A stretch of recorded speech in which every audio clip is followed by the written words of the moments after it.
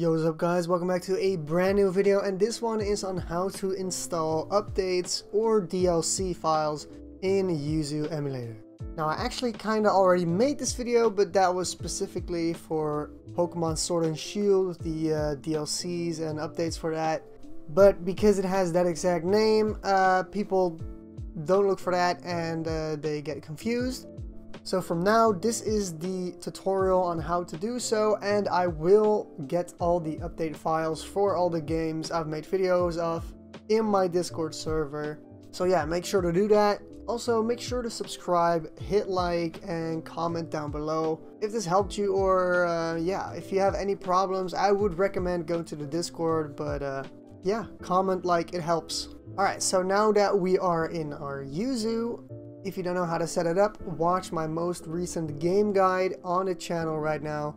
In here, we have our games. Today, I'll be updating my Super Smash Bros. Ultimate. So, literally what you gotta do is you go to File, Install Files to NAND, you click on that, you find your update file, and you press Open. It will show this little confirmation box, and if you selected multiple files, multiple things will uh, be in here. But for me, this thing is checked and I do want to install that. So I click install, you'll see a little loading bar. Don't worry if it gets stuck, it just might just shoot up to like here sometimes. Just give it time, the faster your PC, the faster it will probably be done. Now this also works for DLCs the exact same way. That's why I'll always try to uh, also add DLCs to my Discord server. I'll add them eventually. If you have anything you really want added, ask in the emulator help channel on my Discord server because I'll be adding these slowly. Um, they're not already in. Alright?